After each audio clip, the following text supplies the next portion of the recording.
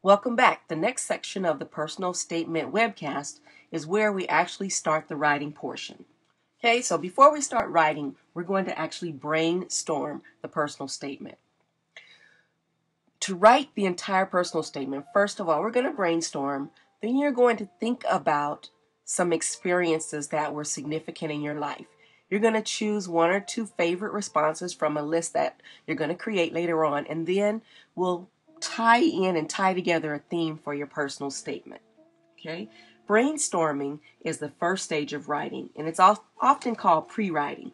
The brainstorming process is gathering all of your ideas and getting them on paper without editing them. So, this is not where you want to correct your spelling mistakes or try to get the exact date. This is just getting it out on paper. The brainstorming stage does not involve editing, so don't censor your ideas. There'll be enough time to edit later.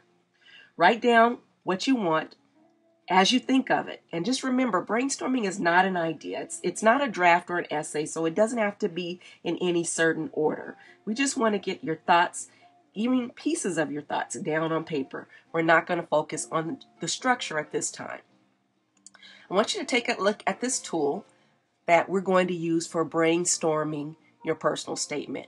I'd like for you to take some time now to answer or to address these questions on our brainstorming tool. So take a look at what are my weaknesses, and I want you to think of three different weaknesses and write those in. Next, look at what do you care about. Stop and think about what it is you care about. Three things. Is it animals? Is it sports? Is it your family? Take a look at what are your strengths, okay? And let's list at least three of those. Next, you're going to take a look at what is special about you. And that's okay if you don't have these answers right off the top. This whole process is designed for you to stop and really think about these things about yourself. Okay? What was it like growing up in your city, in your family, in your country? Okay? Next, take a look at what kind of person am I? If you could describe yourself, how would you describe yourself? I'm a serious person. I'm a curious person. I'm a fun person. Okay, so write down some answers regarding that. And last, I want you to take a look at what it was like going to school where you are, going to school at your school, or going to school in your town, or going to school in your neighborhood. Okay, so I want you to pause right now and take about an hour to write out the answers to these questions and then come back.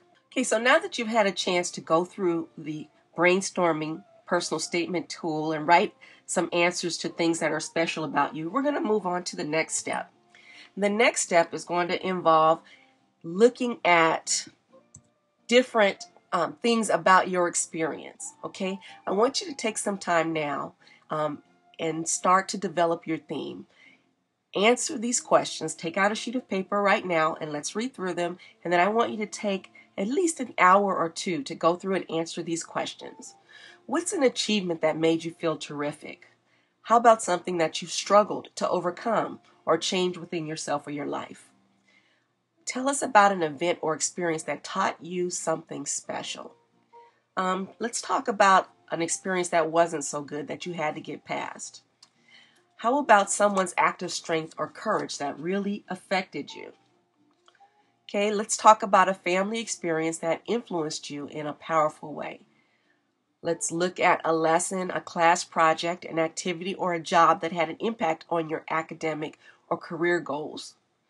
And let's take a look back through your life and look at maybe something that you weren't successful for, with, but you got past it. How about some memorable event, memorable event or advice involving an older person or an event that helps you define yourself in terms of your background? Okay, stop now and write out the answers to these questions, and I'll see you in a little while.